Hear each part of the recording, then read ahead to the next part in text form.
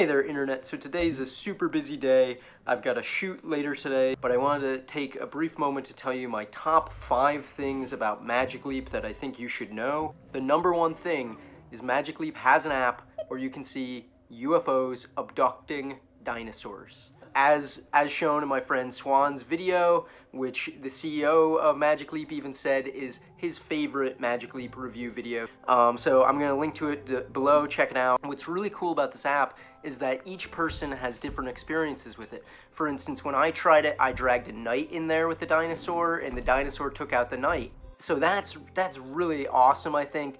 Um, I'm tired of these AR apps on the phone where it's just the same looped sort of animation, so it's neat to be able to put two things together and see it work. The second thing that I think you should know about the Magic Leap is that it is developer friendly. They're looking for lots of different apps, lots of different people to develop for it. So if you're interested, you can sign up. They send lots of different updates. They have uh, tutorials online that make it easier. So that being said, brings us to number three, which is that there's no social aspect with Magic Leap yet. That's going to be available in the fall with a software update.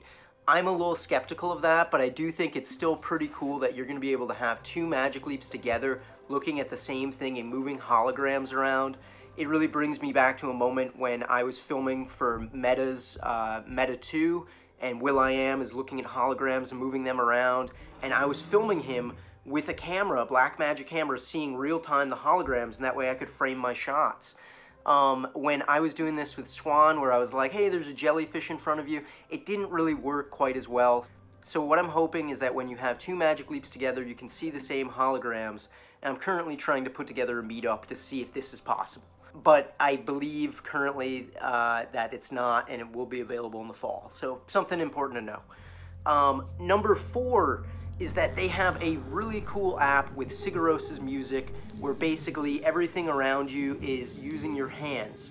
That was huge for me, being able to put down that controller and actually use my hand gestures. This technology has sort of been around for a little bit with um, Leap Motion. That's also uh, hand tracking that you can connect in with your Oculus or your HTC. But for once, it was not an add-on. It was actually built in the headset. Use your hands, move things around.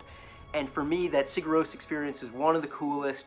It was the closest thing to an acid or a DMT trip uh, that I've seen in a headset, so definitely check that out if you get a chance. And then the number five thing to know about Magic Leap is currently only available in six cities, so if you happen to live in one of those cities, you're lucky enough to be able to try it out definitely get that opportunity and do it. Um, I really was blown away by the headset. It's my favorite AR headset that I've tried, so two thumbs up on that.